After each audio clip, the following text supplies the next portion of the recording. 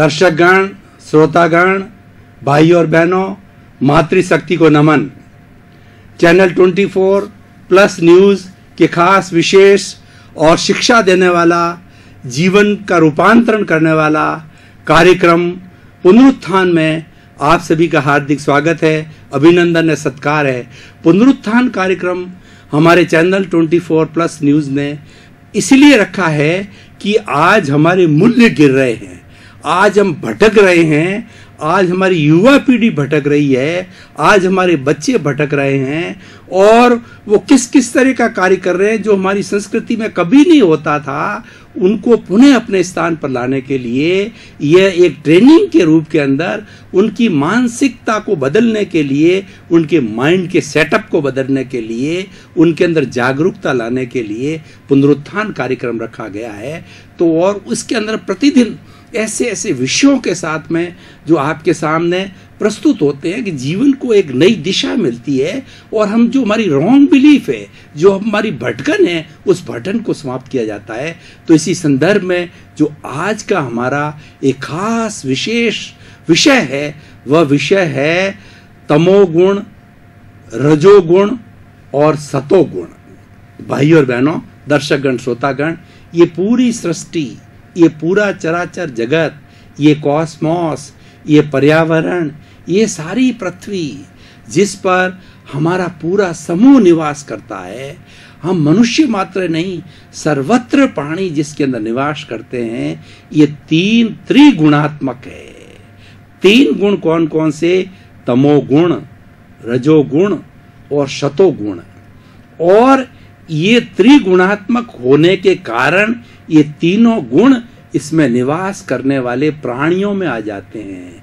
मनुष्य एक ऐसा प्राणी है जिसके पास में पूर्ण विकसित दिमाग है, वह ज्ञान वाला है।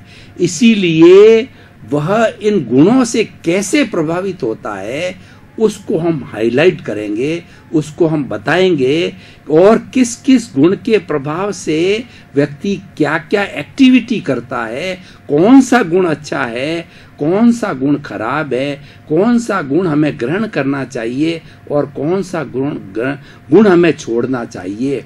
तो हम एक एक करके तीनों गुणों की पहले चर्चा करेंगे।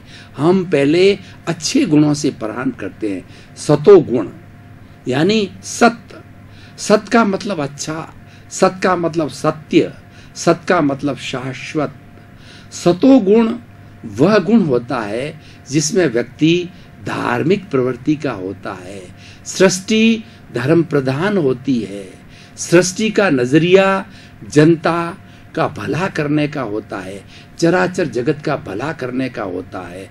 भला कैसे होता है कि वह हमारी प्राथमिक आवश्यकता है रोटी, कपड़ा, मकान, शिक्षा, चिकित्सा, हमारा भरण पोषण करने के लिए समय पर वर्षात करना, समय पर सर्दी, समय पर गर्मी, अतिवृष्टि भी नहीं होना, अनावृष्टि भी नहीं होना, भूकंप भी नहीं आना, और ऐसा जलवायु रहना कि जिसमें समस्त प्राणी आनंद से जी सके। अगर बहुत ज़्यादा ठंड पड़ती है तो मनुष्य तो मान लिया कि अपनी व्यवस्था कर लेगा, रजाई की व्यवस्था कर लेगा, हीटर लगा लेगा और घर के अंदर घुस जाएगा। लेकिन जो बेचारे दूसरे प्राणी है, वो क्या करेंगे? उनके तो मकान नहीं होता। वो तो खुले में रहते हैं, वो मर जाएँगे। वो एक पर्टिकुलर जो है ना टेम्परेचर के बाद में वो जिंदे नहीं रह सकते। सबसे अधिक जो हमारा शरीर स्वस्थ कब रहता टेम्परेचर की दृष्टि से कि हमारे अंदर का टेम्परेचर 30 डिग्री रहता है, बाहर का टेम्परेचर 30-35 डिग्री रहे, तब हम खुशी रहते हैं, हम प्रसन्न रहते हैं, क्योंकि दोनों सम होते हैं, सम अवस्था में हमारा बाहर और भीतर का अच्छा एडजस्टमेंट हो जाता है, यानी ज़्यादा गर्मी भी नहीं, ज़्यादा सर्दी भी नहीं है तो ये सतोगुण के कारण होता है। और ये गुण जिस व्यक्ति के अंदर होता है, वह व्यक्ति एक परमात्मा का अंश होता है। वह व्यक्ति देवत्व शक्ति वाला होता है। वह व्यक्ति सर्व कल्याण की बात सोचता है, जगत कल्याण की बात सोचता है, सेवा की बात सोचता है, उसके अंदर अच्छे अच्छे विचार आते हैं। वह एक देवत्व, मनुष्य होते हुए भी देवत्व का रूप होता है मैं आपको कुछ भाई और बहनों दर्शकगण श्रोतागण मैं आपको सतोगुण वाले महापुरुषों के उदाहरण देना चाहूँगा भगवान राम को देखिए मनुष्य जैसे थे भगवान कृष्ण को देखिए महावीर को देखिए गौतम को देखिए गौतम बुद्ध को देखिए विवेकानंद को देखिए रविन्द्रनाथ टैगोर को देखिए महात्मा गांधी को देखिए दयानंद सरस्वती को देखिए कबीरदास जी को देखिए रैदास और कितने कितने महान विभूतियाँ होती थी। उनके अंदर सतोगुण था। सतोगुण वाला हमेशा अच्छा सोचेगा। परमार्थ की बात सोचेगा और जगत कल्याण की बात सोचेगा। तो ये दोनों पर लागू होता है, प्रकृति पर भी लागू होता है और प्रकृति में रहने वाले जीवों पर भी लागू होता है। जीवों के अंदर मुख्य रूप से बात हम मनुष्य की कर रहे हैं, क्योंकि मनुष्य उसको ज़्यादा ग्रहण करता है, ज़्यादा प्रभावित होता है। दूसरे के पास में जो दूसरे जगत के जीव हैं, वो तो एक इंद्रिय वाले हैं दो इंद्रिय वाले हैं त्रिंद्रिय वाले चतुन्द्रिय वाले हैं, लेकिन पंचेंद्रिय के अंदर जिसके पास मन होता है, और पंचेंद्रिय में भी हमारे पशु पक्षी है, उनके पास मन होता है, लेकिन चिंतन नहीं है। खाली मन होने से क्या होगा? उसका चिंतन होना चाहिए, विजन होना चाहिए। मनुष्य मनुष्य तो सब एक समान है। सात अरब की जनसंख्या में सब मनुष्य हैं।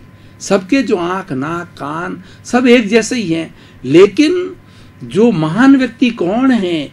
जो विजेंद्री है, जो युग दृष्टा है, जो युग सृष्टा है, आज हमारे भाई नरेंद्र, हमारे भाई नरेंद्र मोदी है, वो एक विशिष्ट व्यक्तित्व है। वो हमारी इस 125 करोड़ की जनता में से हमारे सामने आया है। हमारे जैसा ही व्यक्ति है, लेकिन उनका दिमाग कितना पावरफुल है। वो सतोगुण वाले हैं, वो स्थिर दिमाग वाले हैं, सबका सुख चाहने वाले हैं। वो देश के हितैषी हैं, वो देश का भला चाहते हैं कि हमारे देश के लोगों के अंदर विकास की बात करते हैं।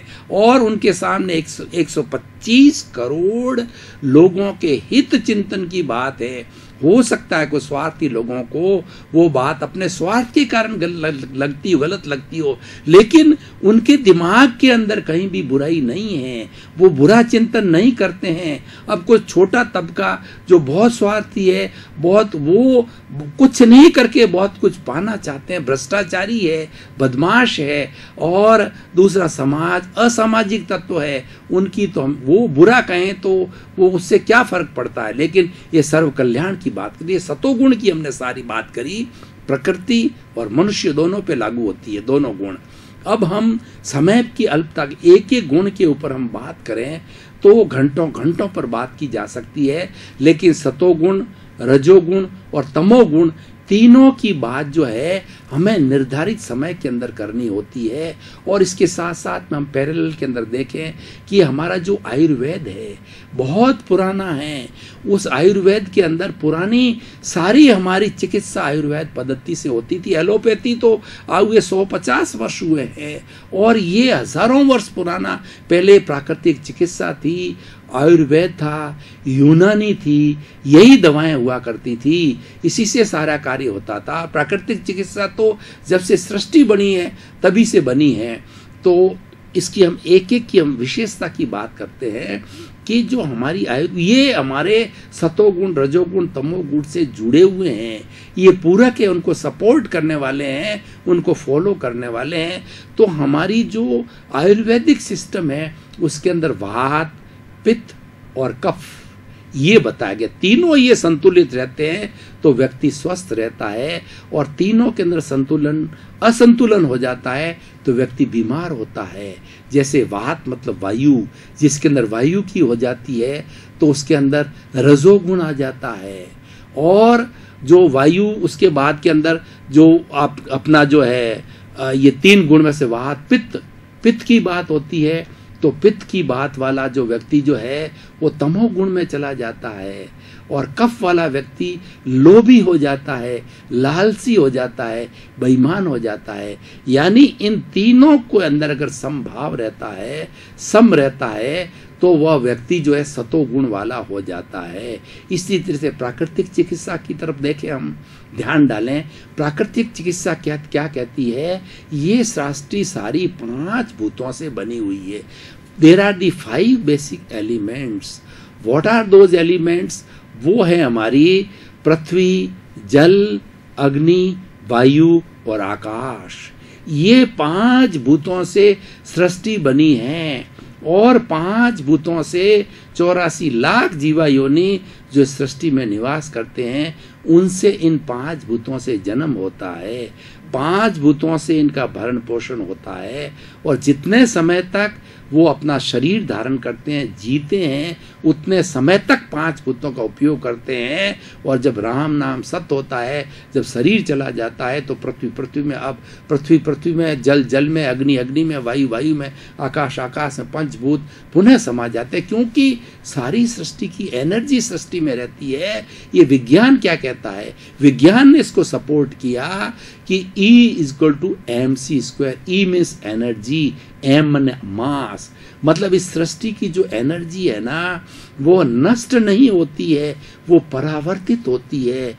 ठोस से, द्रव से द्रव से, गैस में ये बदलती रहती है, रूपांतरण होता है। लेकिन इस सृष्टि के अंदर जो एनर्जी जितनी भूतकाल में थी, वर्तमान में उतनी एनर्जी है, भविष्य में उतनी एनर्जी रहेगी, रूपांतरण होता रहेगा।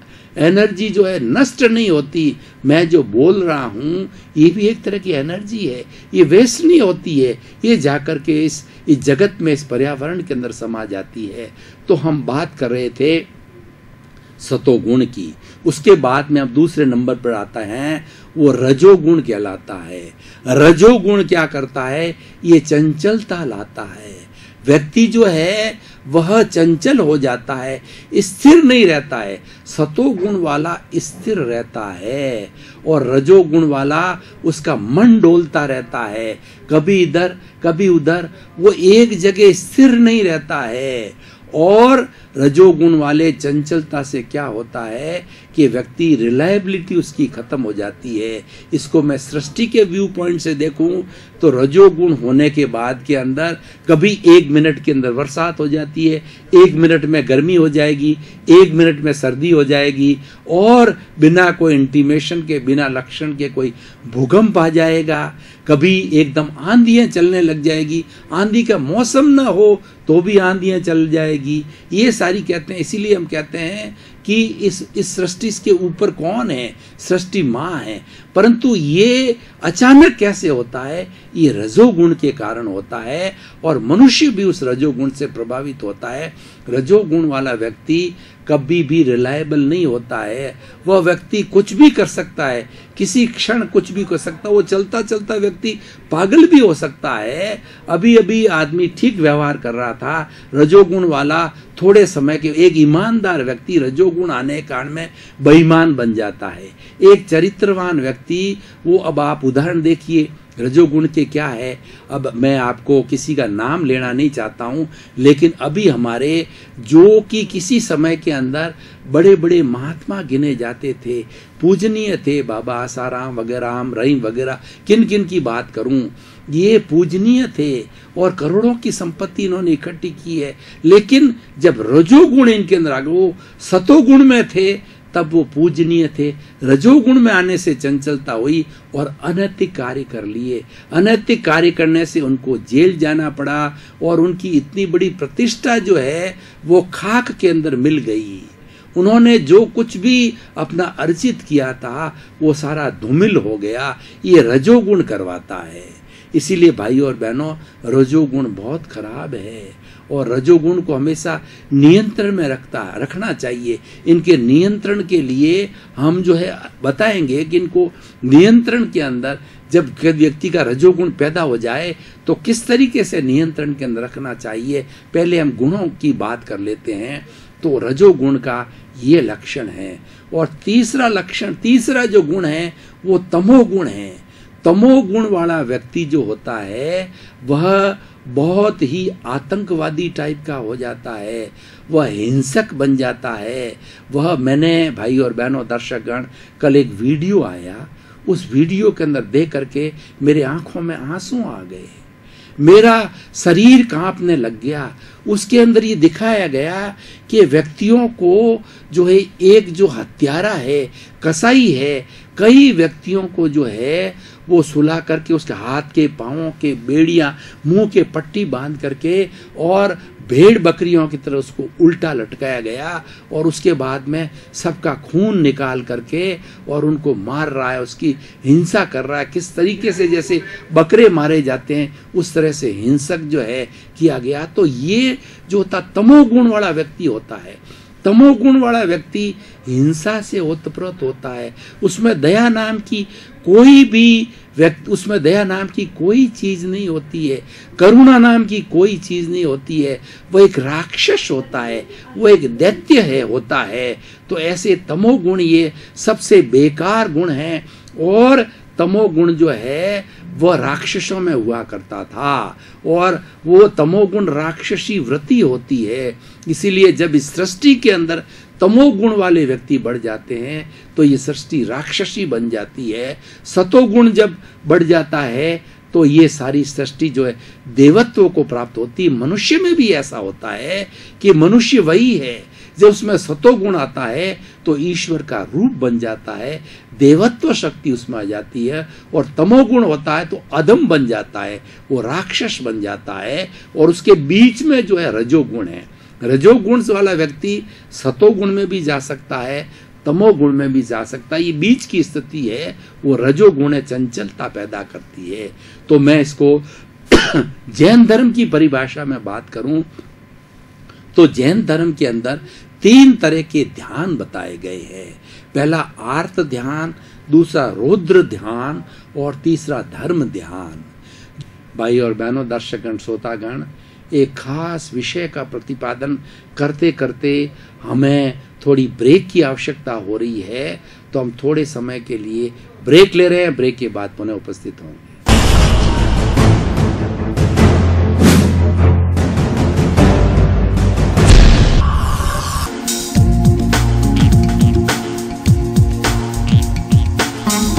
गहन विषय पर गहन चिंतन करने के लिए हम उपस्थित हो गए हैं। जो धर्म ध्यान करने वाला व्यक्ति है, जो धर्म ध्यान के अंदर विश्वास रखने वाला व्यक्ति है, और धर्म ध्यान की श्रेणी में चला जाता है, धर्म की आराधना में चला जाता है, वह व्यक्ति सतो गुण वाला हो जाता है। और उसके बाद में जो व्यक्ति जो है, वो आर्त ध्यान करता है। आर्त ध्यान का मतलब होता है, एक ही चीज़ की बार बार बार बार 24 घंटे वही रटन लगी रहती है कि मेरे को वह प्रेमिका चाहिए, उससे प्रेम हो गया है, वह प्राप्ति होनी चाहिए, मुझे लाख रुपए मिलने चाहिए, मुझे करोड़ रुपए मिलने चाहिए, लालसा लालसा। 24 घंटे शरीर के अंदर मन में कोई न कोई एम्बिशन को लिए 24 घंटे वही चिंतन होता है, वो आर्त ध्यान होता है, वो आर्त ध्यान रजोगुण होता है। और एक रौद्र ध्यान होता है। रौद्र ध्यान बहुत खतरनाक, बेकार, वृष्ट ध्यान होता है। रौद्र ध्यान वाला हिंसक होता है। वो तमोगुणी होता है। तो इसलिए भाई और बहनों, दर्शकगण, श्रोतागण, हमें इस विषय से ये शिक्षा लेनी है कि हम रजोगुण, तमोगुण को छोड़ करके सतोगुण के अंदर आए हैं। इसके उपाय मैं बताऊँगा। उपाय बताने के पहले मैं एक प्रेजेंट सिनेरियो की बात कर रहा हूँ। इस सृष्टि के अंदर वर्तमान में सृष्टि भी त्रिगुणात्मक है। सृष्टि में तीनों गुण मौजूद हैं और तीनों गुण वाले व्यक्ति भी सृष्टि में मौजूद है। लेकिन आज क्या है कि रजोगुण और तमोगुण की संख्या बढ़ती जा रही है और रजोगुण बढ़ने का हमारे और तमोगुण बढ़ने के हमारे सामने साक्षात उदाहरण है। आज आतंकवाद फैल रहा है, आज भ्रष्टाचार फैल रहा है, आज संग्रह की वृत्ति फैल रही है, आज असंवेदनशीलता फैल फैल रही है, आज प्रेम का दरिया, प्रेम का स्रोत, प्रेम की नदी आज उसको सूख गई है। व्यक्ति के अंदर कोई करुणा का भाव नहीं है, किसी के प्रति दया नहीं है। हमारे जो सतो गुण वाले होते हैं वो व्यक्ति के दुख को देख करके स्वयं दुखी हो जाते हैं और वो देखते हैं और वो चिंतन करते हैं कि मैं इसको दुख को सुख में बदलने के लिए कैसे सहयोगी बन सकता हूँ। तन से, मन से, धन से, मन से, वचन से, काया से। ये सतोगुण वाला उसके भले की चिंता करना चालू कर देता है। तो भाई और बहनों, ये आज सारा तमोगुण और रजोगुण बढ़ने के कारण हो रहा है। और ये हमारे होने कारण, ये हमारा बड़ा भेद है। ये हमें दुखी करने वाले हैं। तमोगुण और रजोगुण हैं, ये हमें दुखी करने वाले हैं, अशांत करने वाले हैं। और व्यक्ति के अंदर दुख होता है, वो तमोगुण और रजोगुण के कारण होता है। और जितना सुख होता है, वो शतोगुणों के कारण होता है। तो ये हमारी, वो जो त्रि, और इसी तरीके से हमारी त्रिगुप्ति भी होती है। हम त्रिगुप्ति की आराधना करते हैं। त्रिगुप्ति क्या होता है? मन गुप्ति वचन गुप्ति और काया गुप्ति इन ये उपाय है। अगर आपको सतोगुणी बनना है तो ये त्रिगुप्ति की साधना करें। त्रिगुप्ति की साधना हम कैसे करें? सबसे पहला मन। मन एक घोड़ा है। और घोड़ा, मन एक चंचल है। इसलिए मन के लिए कहा गया है, मन के मते न चालिए, पलक पलक मन और मन लोभी मन लालची, मन चंचल मन चोर, मन के मते न चाल पलक पलक मन और मन हर क्षण भटकता रहता है, ये रजोगुण वाला है तो इसको इस घोड़े को कंट्रोल में लाने के लिए हमें मेडिटेशन करना चाहिए, हमें ध्यान करना चाहिए। हमारी भारतीय संस्कृति में जितने भी धर्म दर्शन हैं, जितने भी सत्संग होते हैं, उसमें ध्यान को सबसे ज़्यादा महत्व दिया गया है। ध्यान करने से हमारा मन नियंत्रण में होता है और हमारा इधर उधर भटकाव नहीं होता है। हमारे विचारों का अल्पीकरण होता है। हम एक स्थान पर आकर के टिक जाते हैं, हम सतोगुणी बन जाते हैं। दूसरी गुप्ती होती है, वचन गुप्ती। वचन का मतलब कि हमारी वाणी वाणी के लिए कहा गया है, ऐसी वाणी बोलिए, मन का आपा खोए और को शीतल करे और आप हो शीतल होए। वाणी मुँह से ऐसी अमृत जैसी निकलनी चाहिए कि वह खुद भी शीतल हो जाए और औरों को भी शीतल करे। यानी खुद भी मुग्ध हो जाए और और भी प्रसन्न हो जाए। मीठी भाषा बोलनी चाहिए, सत्य भाषा बोलनी चाहिए, मित भाषा बोलनी चाहिए, प्रामाणिक भाषा बोलनी चाहिए। यद्यपि सत्यम, लोक विरुद्धम, ना चरणीयम ना चरणीयम। एकदम सत्य बात है, लेकिन वो लोक विरुद्ध है। लोक का उसके अंदर अहित होने वाला है, किसी व्यक्ति का हित होने वाला है। तो वैसी सत्यवाणी भी हमें नहीं बोलनी चाहिए। मीठी मन भावक वाणी का। ये वाणी का नियंत्रण करने से, वचन गुप्ती करने से हम सतोगुणी बनते हैं। उससे हमारा रजोगुण और तमोगुण होता है, कम होता है। और तीसरी होती, काया की गुप्ता, ताकाय गुप्ती। ये सारा रजोगुण क्यों आता है?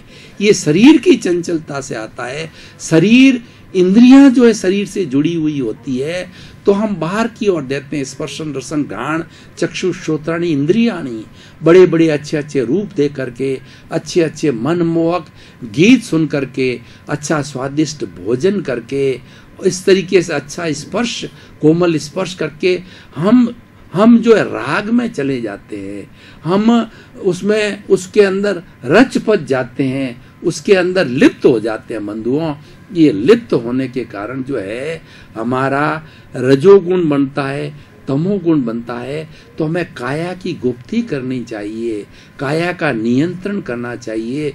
जो व्यक्ति काया का नियंत्रण करता है, उसकी इंद्रियाँ स्वतः ही नियंत्रण हो जाती है। काया का नियंत्रण करने के लिए कायोत्सर्ग करना चाहिए। कायोत्सर्ग कैसे किया जाता है कि सीधे बैठ करके और रीढ़ की हड्डी को सीधी रख करके, आँखें कोमलता से बंद करके, ध्यान मुद्रा करके ये चिंतन करना चाहिए कि मेरा जो ये शरीर शिथिल हो रहा है।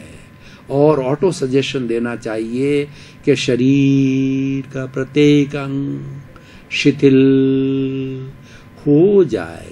अनुभव कीजिए, शरीर की एक एक कोशिका शिथिल हो रही है। और अनुभव कीजिए, पूरा शरीर रूई की भांति हल्का हो गया है। कोई तनाव नहीं, कोई अकड़न नहीं, कोई जकड़न नहीं। कोई बंधन नहीं, चारों तरफ़ आनंद ही अंदर। शरीर का कायोत्सर्ग होगा तब हमें चंचलता नहीं आएगी। चंचलता को रोका जाना चाहिए।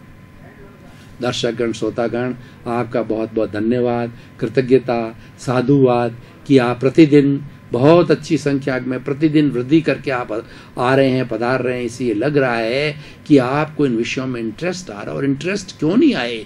ये सारे विषय हमारे आत्म मंथन के हैं, आत्मनिरीक्षण के हैं सेल्फ रियलाइजेशन के हैं, और हमारे साध्य की प्राप्ति करने के लिए, सुख प्राप्ति करने के लिए, आनंद प्राप्ति करने के लिए है तो इसीलिए समस्त जगत का कल्याण हो, और आपका जीवन सुखी हो, आनंदमय हो, सर्वे भवंतु सुखी ना, सर्वे भवंतु आनंदमय, सर्वे सर्वे भंतु सुखे ना सर्वे भवंतु निरामया। सभी सुखी हो और सभी स्वस्थ हो। आपका मैं, आपका जीवन मंगलमय हो, आध्यात्मय हो, सुखमय हो। आपके प्रति मंगल भावना, शुभ का प्रायोजक हैं